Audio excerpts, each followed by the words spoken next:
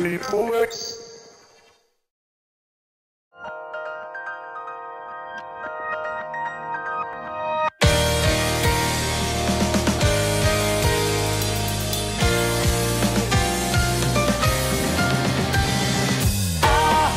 僕らは正反対だ。正反対だね。あいつとどういう関係なの？さくらから聞いてた。膵臓死ぬ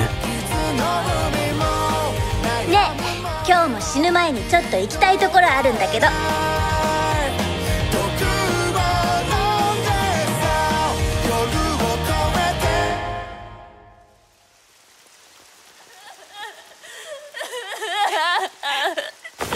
さくらはどうしてお前なんかと。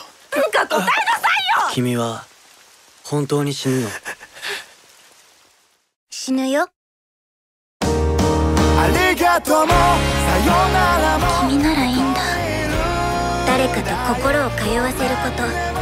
そのものを指して生きるって言うんじゃないかな。あの子は誰かがそばにいて見ていてあげなきゃいけないの。あんたにそれができる。あんたさくらのことどう思ってんの。あ